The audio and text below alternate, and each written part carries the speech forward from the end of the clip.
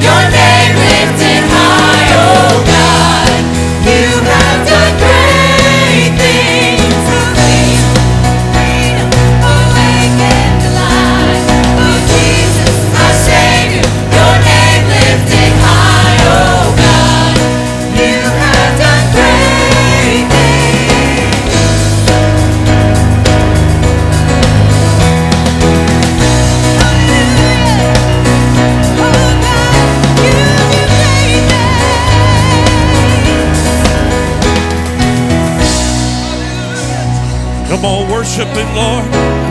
Him, church. Worship the Lord. He's done great things in your life.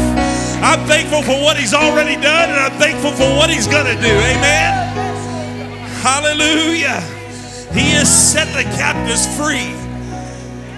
He's broke the bondage. My God holds the key to death, hell, and the grave. And I'm thankful that He goes before me. Hallelujah. Hallelujah. Let's worship the Lord right now. Can you worship Him all across this place? Lord, we thank you, God. We thank you for what you're doing in this house. Lord, we thank you for what you've already done. God, we love you. We worship you, Jesus. We worship you, Jesus. Hallelujah. The Lord deserves a great hand clap of praise right now. Amen. Amen. We love you, Jesus. I thank you for what I feel in the house this morning. Amen. Amen. Amen. We have many needs in this church. And uh, if you've been online, you see several needs that have been posted. And uh, we want to go before the Lord in prayer. Before I do that, I want to just thank you as a church for all of your prayers over the last several weeks and months. They meant they have meant so much to so many people. And uh, I have a card here that uh, Sina wants me to read to the church. It's just beautiful. And it says, with special thanks to all of you, to know you is to know people who are kind, considerate, and thoughtful. To know you is to be grateful for the special things that you do. For everything you've done, for being the special people that you are, thank you so much. And then she wrote, Words cannot express the appreciation I feel for all of you and what you have done, from the food that has been shared to the text, the emails, and above all, the prayers that have been said. I am blessed. Thank you, Sina. So I just want to thank you, church, for reaching out with your time, with your prayers. We are a praying church, but we don't stop now. Sina, we're still with you. We're still believing. We're still there beside you, walking with you. It's just such a beautiful card and great testimony to this church. And I just want to thank you again. And um, we have many needs, as many of you have, have been keeping up also on Facebook for uh, Glenn Worley. He is in need of a touch of God. He's in need of a miracle today. And I know a God that's still a miracle working God. And we can touch the throne of heaven for Glenn Worley and Betty Worley as well. I want to remember her. Sister Cindy Falk is sick. We want to remember her today. Tammy Simmons and Peggy Jenkins. Josh Bertrand's mother is in the hospital and needs a touch of God. AC and Bobby Smith, we want to continue to remember them today. We have many needs, and I know there are others. If you have a need, make it known by the lifting of your hand.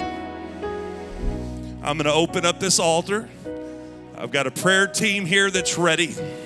If you have a need and you want prayer today, I'm going to invite you to the front. I'm going to ask the pastoral team and the prayer team to make their way down. And by faith, can you just lift your hands right now and let's just touch the throne of God? This is how we fight our battles, church, right now, in the name of Jesus. Every need, God, every need, Lord.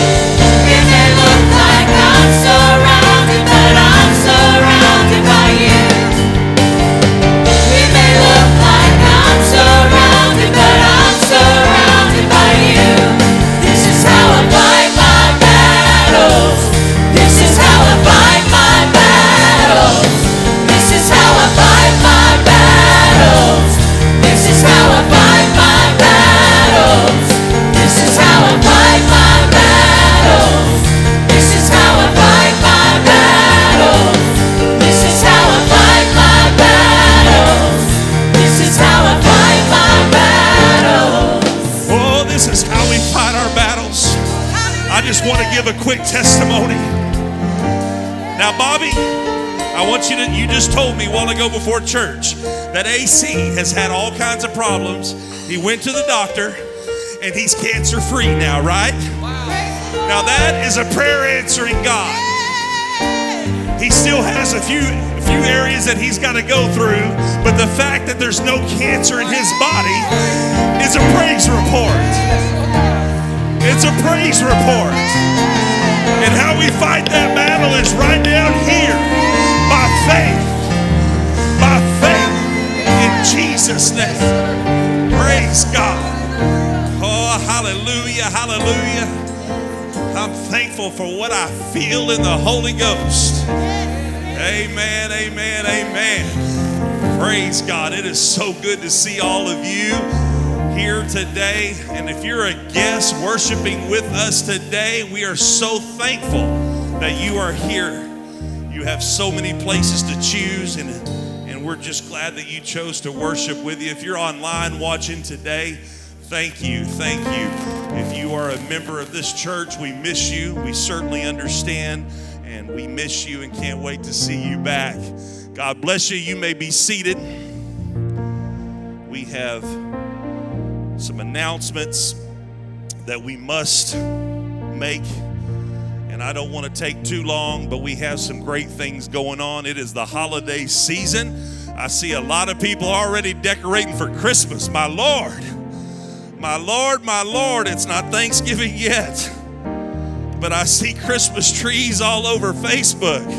What is happening around here? I think everybody's just excited about Christmas. Amen. They're ready to get through and get through this year and move on. Amen. Amen. Well, as we uh, have stated several weeks now, uh, this Wednesday there will be no midweeks uh, online service. Okay, we want you to spend some time with your family and take that opportunity. However, if you are part of CR or want to be a part of CR, we want you to know that CR will still meet Wednesday. They will always meet every Wednesday, even if the services are online. They will meet up up top or here in the sanctuary at 7 p.m. on Wednesday. So we don't want there to be any confusions there. Now, if you are a volunteer, I've got some exciting, exciting news for you. Now, how many of you volunteer here at TLC? Raise your hand. Yes, if you are a volunteer. Now, how many of you want to volunteer here at TLC? Come on now, come on. It's exciting around here. There's a lot going on. And uh, if you are a volunteer, that means you are part of the dream team. And on December the 6th, we have a luncheon for you. And it is going to be incredible, great food. We have some special things uh, planned for you uh, during that. And so we want to honor you uh, with this luncheon and thank you. And that's just a small, small token of our appreciation. We there are so many things that you deserve for all your hard work around this campus and what you do, but we do want to honor you with that. We need you to RSVP. Go to Facebook. If you've got an email, please uh, respond to that email. We want you to uh, RSVP so we know how many people and how many children are coming for that luncheon. Amen. How many of you are ready to give to the Lord? Yes giving to God. You cannot outgive God.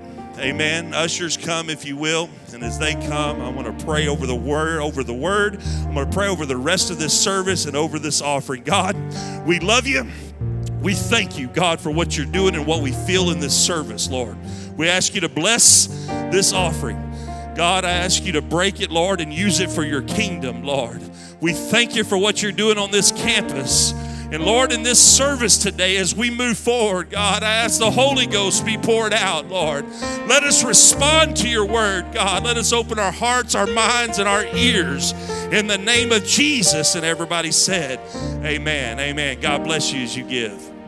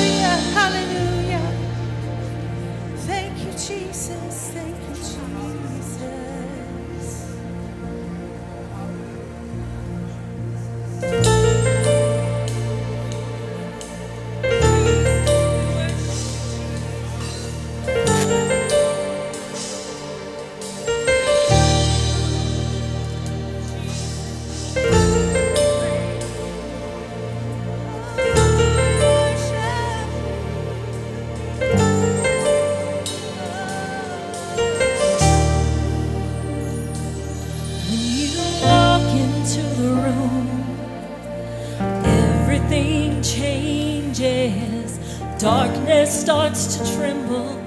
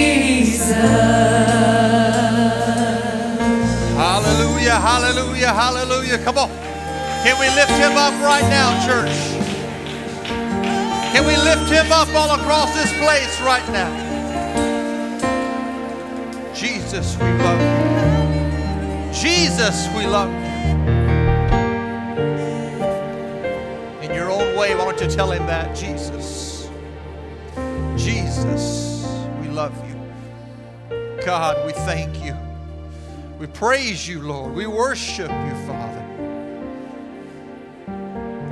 Such a sweet, sweet presence of the Lord in this place. Hallelujah, hallelujah, hallelujah. Thank you, Jesus. Can we give the Lord a hand clap of praise, church, all across this place this morning?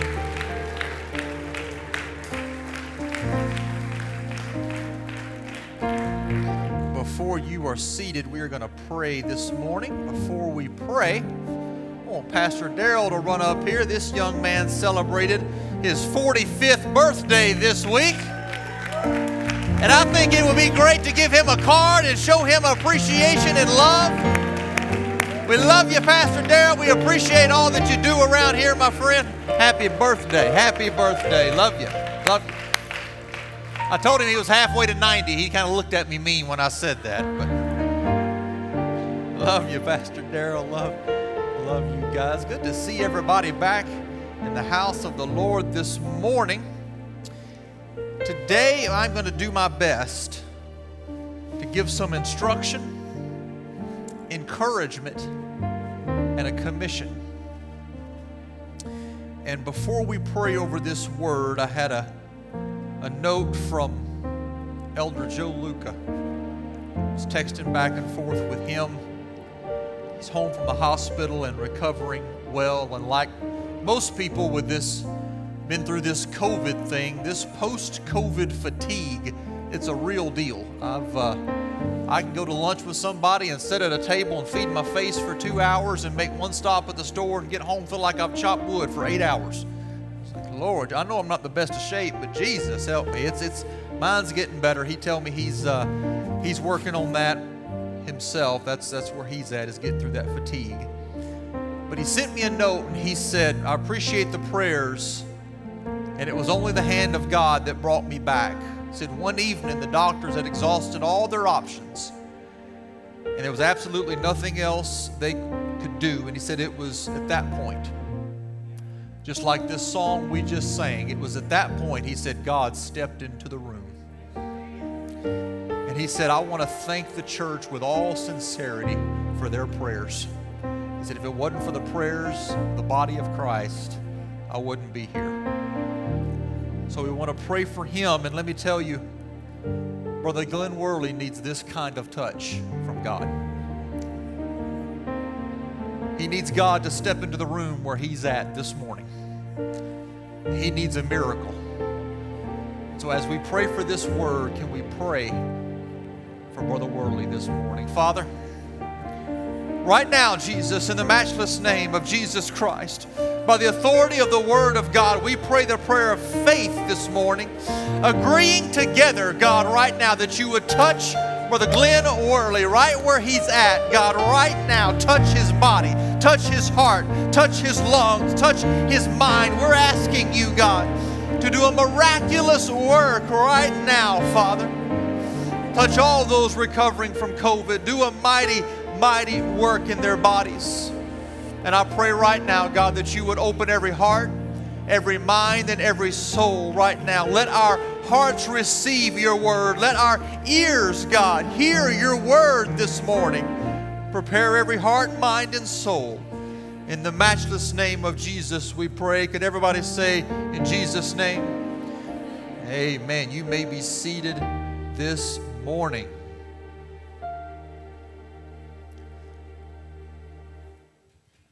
I'm going to do my best for the next few moments to talk to you on the subject hand out hope. Hand out hope. I don't know about you guys, but when you look around the world today, there is a need for hope. I saw the incredible influence and persuasion, persuasive power of hope just this week. I sat in the hospital. 10 to 12 members of a wonderful family. I watched on Monday morning as we sat there together, they were given little to no hope for the future of a loved one. They were going to make some directions and, and decisions for the future of this person that laid in ICU. But we met again on Wednesday morning. And at this point, there was just a sliver of hope from the doctors. And that sliver of hope shifted their direction, it changed their decision. It was a great thing. I was elated for the family, and we're believing and hoping and praying for a miracle and holding on to every shred of hope. But as I conveyed to one of the family members, we're thankful this morning that our hope truly is in God alone. Amen. Church, we are standing at a time when the world and our country are hopeless. I, I think we have to get our brain. I'm going to take the first part of this message and lay a little foundation. We have to understand this country and this world is too far gone. There are, there, we have passed the markers. We have passed any type of return and reliance upon the systems of this world and the systems of this country. We cannot rely on our economic system. We've seen that this past year. We cannot rely on our judicial system, our voting system, our health care system is overwhelmed time and time again. The past year, both political parties in this country have utterly failed us as United States citizens. And they've definitely failed us as Christians. We're foolish to blame it on any one person. If we consult the Word of God, we can clearly see what is happening around the world and right here in our country. First John chapter 2, beginning in verse 17, John wrote, And this world is fading away along with everything that people crave. But anyone who does what pleases God will live forever. Dear, dear children, the last hour is here. He penned this 2,000 years ago you have heard that the Antichrist is coming, and have already many such Antichrists have appeared. From this we know this is the last hour has come. If the spirit of the Antichrist was alive and well in full force 2,000 years ago, how much more do you think it is active and working in our world today? I would submit to you this morning there's such a spirit of perversion. The spirit of Antichrist is at work, and it has turned the minds of one group of people, one group of humans, against another group. I want you to think back for a moment to last Thanksgiving, right at a year ago this week. You were sitting around the table enjoying your turkey and your dressing, and we'll all be doing that in a few days. In Jesus' name, thank you, Lord.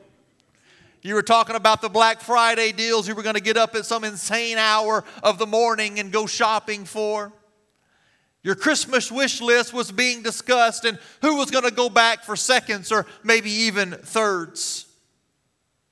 Sitting at that table a year ago, if someone would have spoke up and said, "Hey family, in the next 12 months, we will see multiple states here in the US of A outlaw church. In the next 12 months, we're going to see singing in church outlawed. Our religious freedoms are going to be gone. If they would have said at that Thanksgiving table last year that states would be dictating how many family members can gather in your home at Thanksgiving this year, what would you have said? If somebody would have said at that dinner table, 99% of all businesses in the next year will require that you put a piece of cloth over your face just to walk in their door and transact business. If you'd have said a global pandemic is coming and 1.3, 1.4 million people are going to die, a quarter of a million, right here in the US of A. What would have been your thought? You would have said, no, that, that not, not in a year. No, that's, that's kind of extreme. If you think that a government system that is so manipulated by the spirit of Antichrist is going to give up control when this vaccine is ready, my friend, you're being naive. CNBC, November 16th, and I'm quoting an article from a mainline news source. CNBC quoted Dr. Anthony Fauci, quote, but I would recommend people not abandon all public health measures just because you have been vaccinated. End quote. There's already a foundation being laid. The narrative is already begin to begin ingrained in our society. Pastor Ken, Gurley shared incredible little one of his morning devotions this week, and I took it and, and I, I listened and watched what he said, and I thought, Preacher, you're, you're kind of out there. And then I did a little research. You're going to be hearing more about this first part of the year. But the goal of the Antichrist government system is total control. That's what the book tells us. So if we study biblical prophecy, understand where, where are we right now, Pastor? I don't know how many of you ever heard of the World Economic Forum. They meet every year. It's the world's nation, national leaders, the world's business leaders. They come together in a ski resort, Davos, Switzerland and they meet and they discuss certain things, and they really have been overlooked for many years because it seemed like the central theme of their discussions was climate control. People didn't subscribe to that, kind of overlooked that.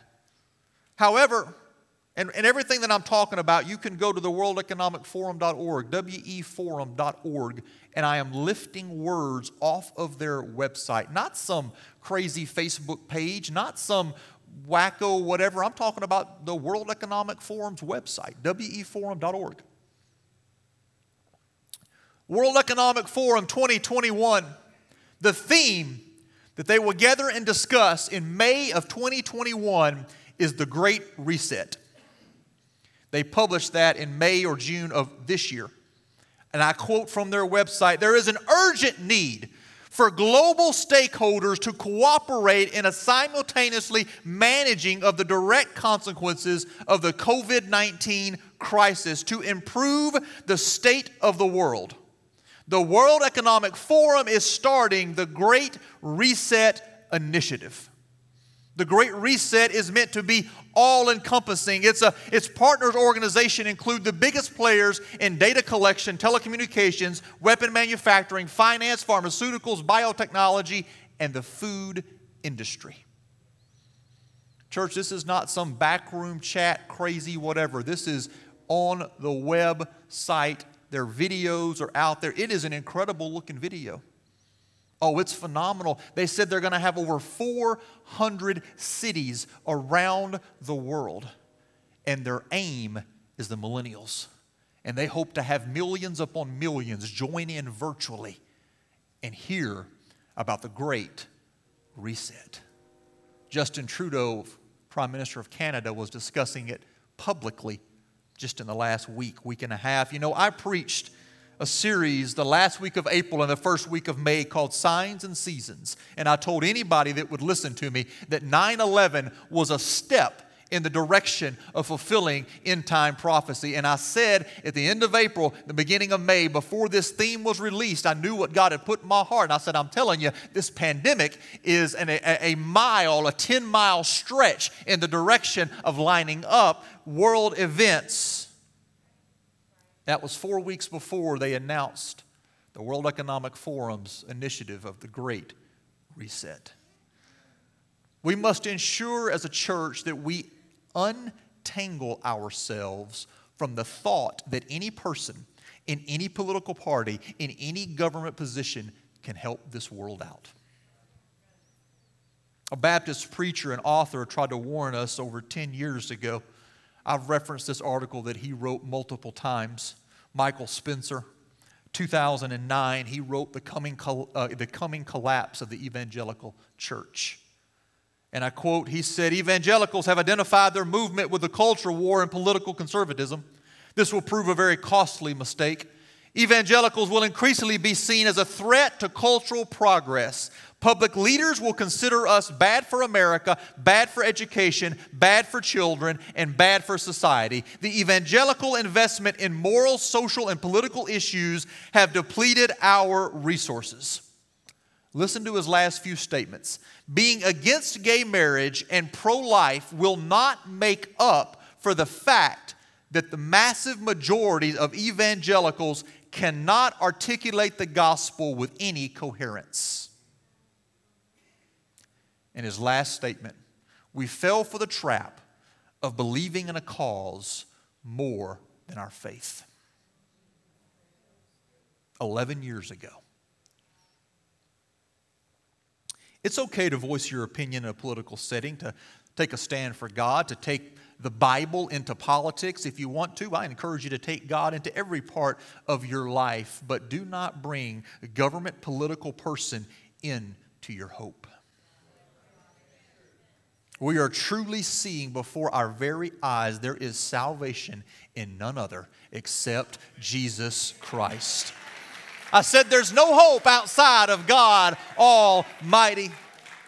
As born again believers, don't fall for the idea that help is coming from a godless, antichrist, man centered world system.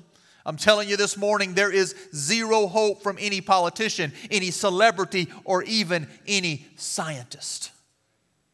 I'm not anti political, I vote.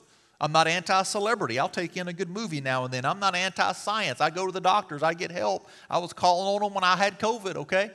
I'm not anti this stuff. I'm just telling you, don't look for hope in those places. Don't think that they're going to have the answer. Don't think they're going to bring to you what you need, what your family needs, what this world needs. It's not coming from their system, it's not coming from this world. Pastor, you're being mighty passionate and indignant about this. You got any Bible for this position? I'm glad you asked. 2 Timothy chapter 2. See, God revealed the great apostle Paul what the end time would look like, and he very anointedly penned these words You must therefore endure hardships as a good soldier of Jesus Christ. No one engaged in warfare entangles himself with the affairs of this life, that he may please who enlisted him as a soldier. We got to understand this morning there is a war for souls of our friends, our families, and our neighbors. And the spirit of the Antichrist, it is absolutely relentless. It will fight any way possible to detract, to deter, to disillusion, and dissuade people until they pass from this life without being born again. Whatever can distract people, that's what the enemy will use we have to offer the lost around us the faith, the hope, and the love of God. Some of you are sitting out there, I can tell by the looks on your faces, you're thinking, Pastor, you, the screen says hand out hope, but whew, you're being mighty negative. hope is best seen in the contrast of darkness. We got to understand just how desperate this world is, church. We got to realize that we are the people with the answer. We have the only hope that this world can rely on. Great Charles Spurgeon, he said, Hope itself is like a star, not to be seen in the sunshine of prosperity, and only to be discovered in the night of adversity. That's when hope is seen best. Some of us are recently beginning to see our hope is truly in the Lord alone. You see it for the church, if we're just being real honest with ourselves, we paid lip service to our hope is in God. Oh, for the last decade or two, I've been right there with you. I can raise my hand. Oh, I hope in God. But I, I, I go and I, I go on the job, and that's where I hope my paycheck comes from. Oh, I, I hope in God, but, but I'm going to cast my vote and I'm going to hope that the, the right political party straightens out this mess over here and gets that right. Oh, I, I hope in God, but I hope the scientists come through and the doctors have a, have a breakthrough.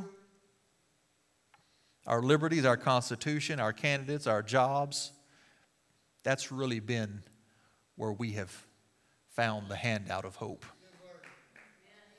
But with all that failing, with all of that crumbling around us, we begin to see a little more clearly now. I often walk around my block. I did it last night, actually, and run into a neighbor, and we actually talked for about 45 minutes. But typically, I'll walk around my block, and it takes about 20 minutes to make the circle, and I use that time a lot of times to clear my head or I use that time to, to pray. About a week and a half ago, I had been listening to nothing but a constant feed of election tension and COVID outbreaks, doom and gloom. And I, I just walked downstairs. It was getting dark, and I told Bridget, I said, I'm going I'm to take a block, take a, take a walk around the block. And our neighbors down both sides of the street have started decorating for Christmas. And there's lights and candy canes all lit up up and down our street. Pastor Darrell referenced this early. People are just grabbing Christmas and just dragging it closer and closer and closer. Normally, I, am I'm, I'm not a big fan. I get a little bit annoyed at people that put up the Christmas lights before Thanksgiving, but flung against the backdrop of 2020, okay, I, I understand that. I get that. You know, I walked down my driveway and I was going on this walk, spend a little time with God intentionally. But when I got to the end of my driveway, I looked and I saw all those Christmas lights lit the path both directions, right and left. And those lights represented a baby in a manger. And all of a sudden, I felt just the peace of God settle over me and all the tension all the stress and the strain of the news cycle just begin to melt away. You see, no matter how hard the culture tries, they can never take Christ out of Christmas. And the hope that was delivered in that stable is the only hope that we can rely on.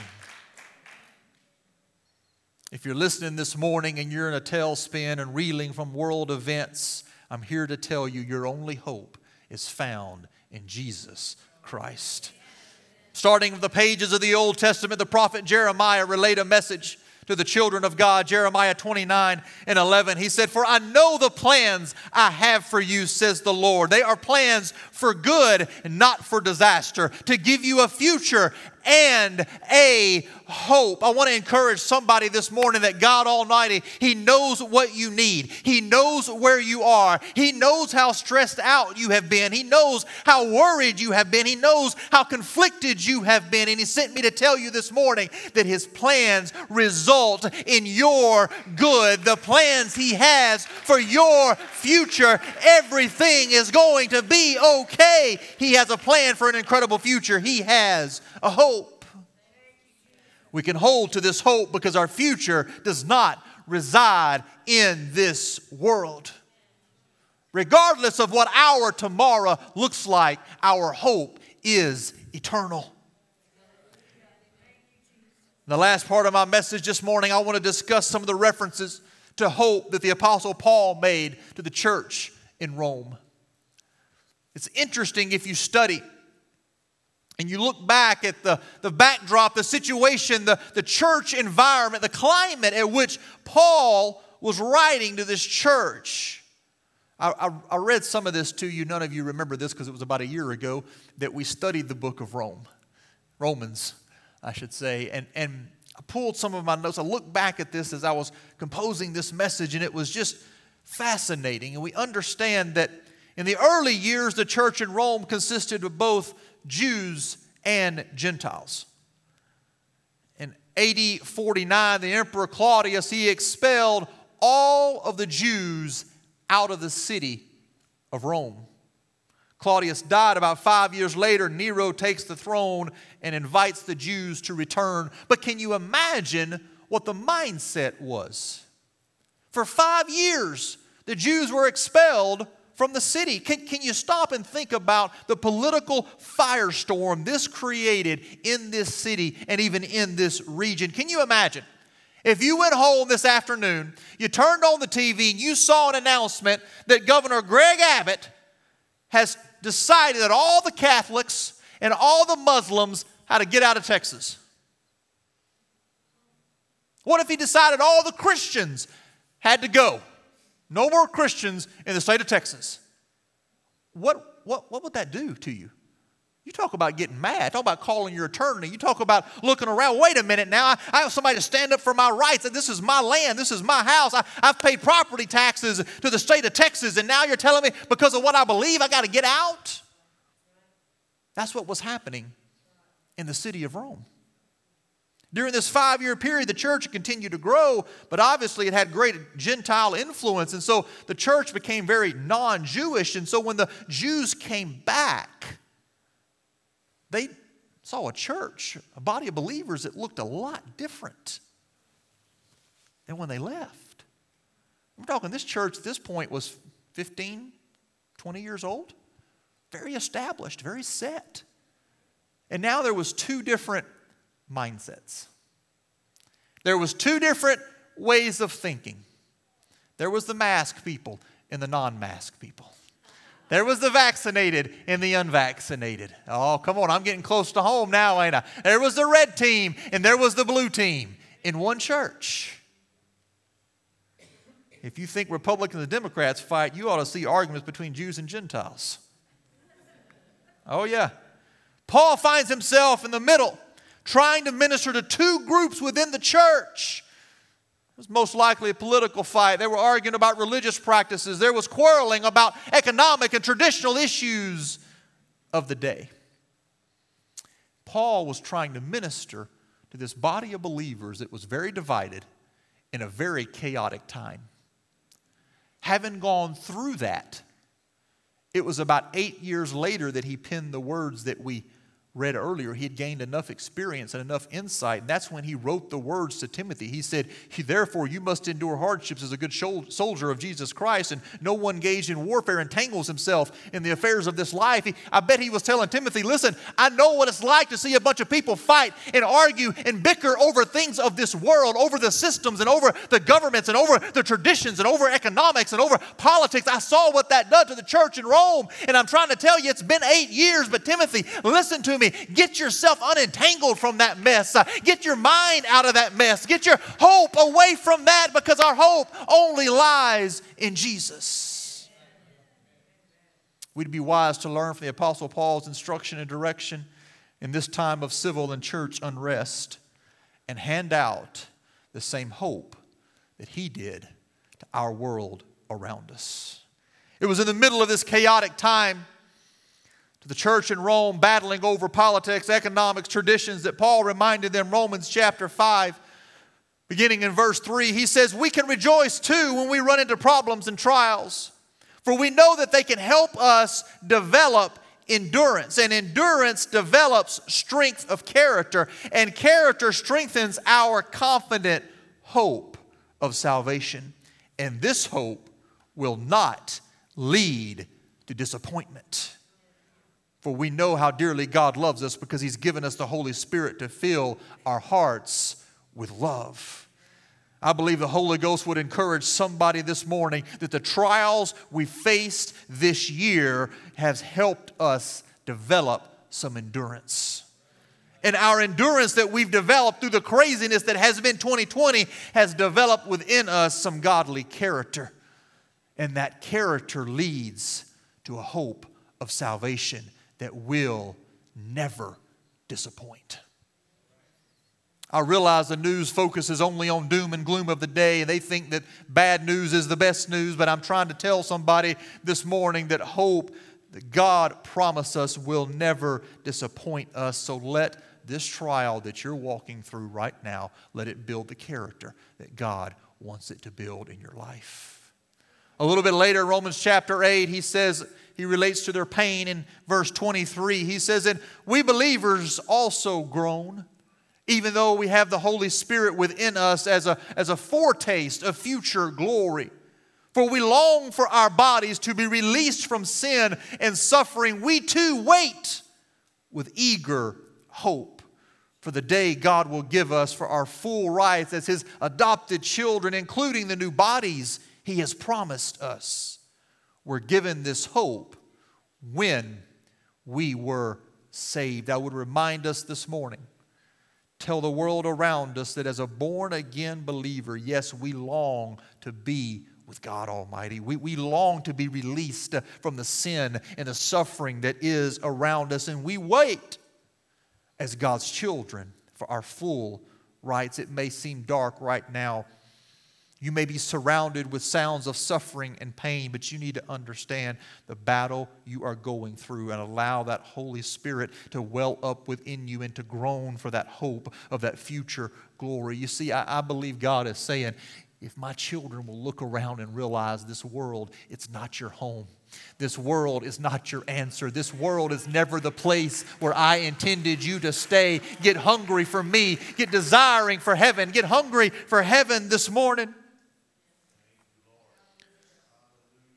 The hope of God is the only thing the church should be handing out. As he continues in his letter, he does not instruct them to talk bad about Claudius. He does not instruct them to praise Nero for bringing the Jews back. The political climate had impacted the church, it had changed the church culture. It was the point the saints needed to focus on handing out hope. And in chapter 12 of Romans, he gives them a very clear, very practical, and tangible way of handing out hope. Romans 12, beginning in verse 11, he says, Never be lazy, but work hard Serve the Lord enthusiastically. Rejoice in our confident hope. Be patient in trouble and keep on praying. When God's people are in need, be ready to help them and be eager to practice hospitality. Yeah, in the middle of trouble, work hard. In the middle of trials, be patient. In the middle of all the chaos, just keep praying. It's Paul's closing words to the church. He admonishes the stronger, more mature saints to hand out hope, to help the rest of the church, to strive for peace with one another. Romans 15. Beginning in verse 1, he says, We who are strong must be considerate of those who are sensitive about things like this. We must not just please ourselves, but we should help others to do what is right and build them up in the Lord. For even Christ did not leave, live to please himself. As the scriptures say, the insult, the insults of those who insult you, O God, have fallen on me. Such things were written in the scripture long ago to teach us, and the scriptures give us hope and encouragement as we patiently wait for God's promises to be fulfilled. We've got to determine in our hearts, in our minds, in our souls today that nothing coming upon this world, politically, economically, socially, we will not be divided. If my brother or my sister wants to get vaccinated, great. If they want to wear a mask, fine. If they want a distance, okay. If they're going to stay home a little bit, that's okay. I'm going to love them. I'm going to love the Lord. We're going to come together. We're going to be in one heart, one mind, and one accord. We are going to come together in this last hour and we are going to hand out hope to the world around us. Those of us that have lived for God for 10, 15, 20 years, we have an obligation to the younger in the Lord to strive for peace and to build them up encourage. That's your job. If you're here today and you say, Well, I've had the Holy Ghost for 10 years, I've had the Holy Ghost for 20 years, you've got more of an obligation to look around and say, Where are those that have been living for God for two years, for four years, for five or six years? Well, hey, let me build you up. Hey, let me encourage you. Yeah, it's dark around us. Yeah, it looks doomy and gloomy, but listen, we're going to make it. Yeah, you may go this direction, but I, I've still got to hold on. You may look this way. You may make that decision, but you're my brother. You're my sister. I'm going to hold on in the middle of all the chaos. We are going to make it. There's a hope, and I'm going to hand out hope. I'm going to hand out encouragement as we patiently wait. You see, all of this stuff I've talked about at the beginning of my message, none of it should take us by surprise because God told us about every bit of it. He said, This is what's coming. there is, there is going to be a one world leader. There is going to be one world government. There's going to be a one world religion. There's going to be a one world current. This is, and so we begin to read these things in the news and we begin to see this. And the rest of the world, well, they, they may not realize what's coming. They may think it's the best thing since sliced bread. Great. Oh, if, if you dig in the rest of this stuff, oh, they'll tell you. You won't have any property, you won't have any assets, government loan at all, and it's all going to be one great, great social communist happy family. That hasn't worked out so well for so many countries. The world is tearing itself apart, church. Political parties are self imploding, infighting on both sides of the aisle. The healthcare system is overwhelmed. The country's economic status is uncertain at best. Hear me this morning. This is the time for the church to stand on the Word of God.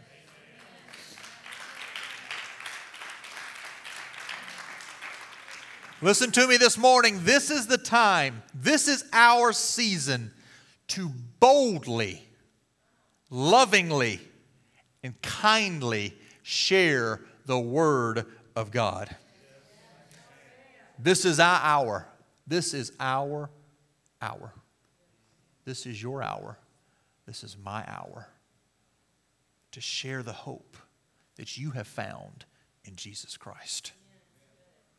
Let Peter's words soak in, in this final scripture of my message this morning. 1 Peter chapter 3, beginning in verse 14. He said, But even if you should suffer for what is right, you are blessed. Do not fear their threats. Do not be frightened, but in your hearts revere Christ as Lord. In this last portion, if you don't hear anything else I say this morning, hear this last portion. Peter said, Always be prepared to give an answer to everyone who asks you to give the reason for the hope that you have, but do it with gentleness and respect. Church, as this world grows darker, your hope, like a star, will become more evident. We need to be ready today. If you are not ready, go home, begin to study, begin to read, be ready to give an account for the hope that is in you understand that you need to be able to. I didn't say you need to be a Bible scholar. I didn't say you need to be able to, to, to, quote this book backwards and forwards, but you need to be able to explain to somebody when they say, This world is falling apart, everything looks dark, everything is going wrong. What in the world? How do you have such peace? How do you have such joy? What is this that is radiating from you? You need to be able to explain. Let me tell you what the Apostle Peter said in Acts chapter 2. Let me tell you how to be born again of water and spirit. Let me tell you about the joy that comes from the Holy Ghost. Let's everybody stand. Come on back, true worship. I honestly believe, church, with everything that is within me, that we are in the final season of the end times.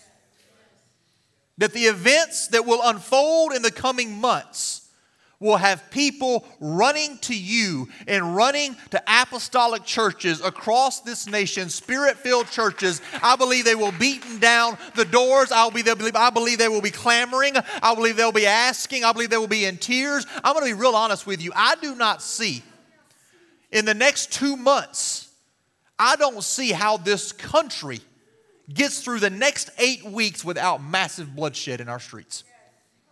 I have analyzed it, I have thought about it. The one and only way that I, I think it's possible is if Donald J. Trump, if he loses this thing, if he gets up and says, listen, I lost it and, and I lost it and it was fair and it was right and, and, and let's just, he ain't gonna do that. It's not him, it's not his style. He may not lose it.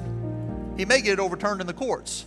But I have thought about this thing in both directions. I do not see at the extreme that our country is in, at the division our country is in. Church, I don't understand, but what we saw over the last six, eight months of the burning of the buildings and all, I believe that's going to be a drop in the bucket of what may come on this country in the next six to eight weeks. And when that happens, or any variation of it. If it don't happen in the next couple of months, it'll probably happen in the next couple of years. People are going to look for hope. People are going to say, My goodness, every time I turn on the news, there's nothing but bloodshed and fires and burning and disaster and craziness, and, and the jobs market is, is shot and the economy is taken, and my 401k is worthless. What do I do? Where do I go? And we need to remember the words of the Apostle Peter be ready to give an explanation for the hope that they find in you. How do you have such peace? How are you able to walk through this? How are you able to survive? How are you able not to go out of your mind? What in the world is going on? When that happens, hear your pastor right now. When they come knocking on your door, when they come grabbing you by the collar, do not give them your opinion. Do not give them your advice. Do not give them what your thought is on the matter. Open up the Word of God and say, Let me tell you, let me show you what's coming to this world. Let me show you what God has said is coming this way. Oh, church, we got a hope. I said, We've got a hope, and that's what we need to hand out. We've got a hope in this word. We've got a hope in the Spirit. We got a hope in God Almighty, and that's what we have to hand out. This hope is our weapon in the coming war. I said, This hope is how we fight our battles. This hope is how we overcome. It's this hope. It's not my opinion. It's not my preaching. It's not my performance. It's not what I'm doing. It's the hope that's found in the Word of God. It's the hope that's found in Jesus Christ. If you're fighting fear today, I want you to step out from where you're at and make your way to the front of this church. If you're battling bitterness today, there's some hope you can come and you can receive. Let me hand you out some hope. Let me invite you to walk, to step out in the aisle as they begin to sing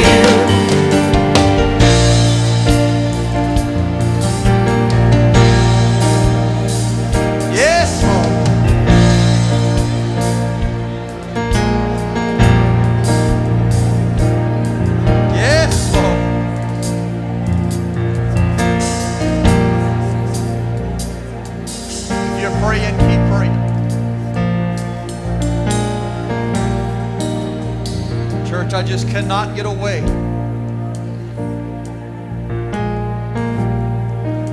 The thought, the understanding. Let me tell you something. Understand what I'm what I'm saying. In these last weeks and months, ever how we have long we have left, I believe it's measured in months, whether it's 4, 24, or 44. If I ever stop preaching out of this book, if I ever change the message that you must be born again of water and of spirit, repenting of your sins, being baptized in the name of Jesus Christ for the remission of sins, and receiving the gift of the Holy Ghost to, to get to heaven, then find another preacher, find another church that preaches that, and get to it as fast as you can. God help me, I will always preach that until I draw my last breath on this earth. But the word tells us that in this end time there will be a great falling away. At the same time, there will be a great harvest. And when they come knocking on your door, when they come grabbing you by the shirt tail, don't tell them about Chris Copeland. Oh, don't tell them about True Life Church. No, no, no, no. Tell them about Jesus Christ. Open up the Word of God and say, let me tell you what the Word of God says. It ain't my preacher, it ain't my church. It's what the Word says is going to get you out of here. It's what God Almighty says is going to get you out of here. And as long as this church is preaching the truth, then you can bring them here.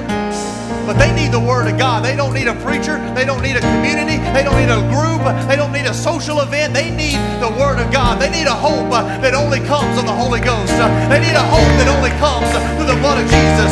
They need a hope that only comes by being buried in the water. I said, because we're going to be surrounded, and we got to understand it may look like I'm surrounded on every side, but God, I'm only surrounded by you. You've already won my battle. You've already gone before me. You've already told me what to expect. You already told me what to look for.